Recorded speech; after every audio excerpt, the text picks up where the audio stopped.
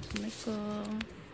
Pagi ini saya cuma pakai krim dari Nadia day cream, toner